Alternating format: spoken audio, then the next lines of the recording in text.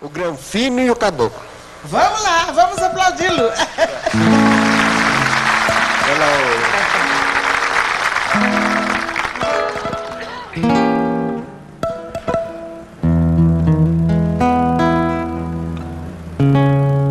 Um dia desses passados, para cantar eu fui chamado numa festa do Divino.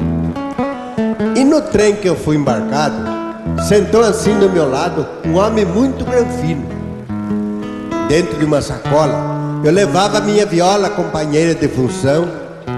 E o granfino, admirado, até meio incomodado, me pediu explicação. Perguntou nesse momento que tipo de instrumento eu levava na sacola. Se era guitarra ou violino. Eu respondi pro Granfino, isto aqui é minha viola. O homem ficou surpreso. Depois sorriu com desprezo e começou a me explicar.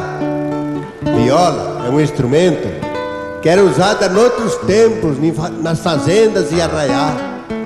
Viola é instrumento caipira era usado nos catira quando o povo era atrasado. Mas agora é diferente. Nosso povo é inteligente e o mundo já está adiantado. Já foi o tempo da congada, a moda de viola, toada, cateretê, esse tal fandango. Agora nós temos o rock, o twist, o folk, o bolero e o tango. Não seja bocó de bola. Larga a mão de tocar viola, é tudo bobagem sua. Não ouve o rádio falando que os norte-americanos já chegaram até a lua? Olha, eu senti uma dor na arma. Tentei manter minha calma, pensando o que ia dizer.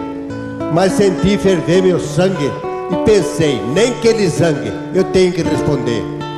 Olha, moço, por favor, eu sou um pobre lavrador, você é rico e diplomado. Nossa classe é bem distinta. Mas por favor, não me desminta, porque é você que está errado.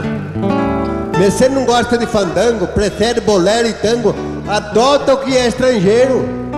Aí que está o erro vosso. Quem despreza o que é nosso, não é um bom brasileiro. Eu canto moda campeira, moda de viola, rancheira, cururu, toada e baião. E quando um caboclo improvisa, nos versos ele simboliza as belezas do sertão. Eu sou mesmo folclorista, sou caboclo, sou paulista e honro a minha bandeira. E quem achar que está errado, se tiver incomodado, pois que vá para terra estrangeira. Ah, mas você falou de ir para a lua. Pois se é vontade sua, então por que, que não vai? Vá lá procurar o seu terno. Vá para a lua, vá para o inferno, mas deixa o caboclo em paz.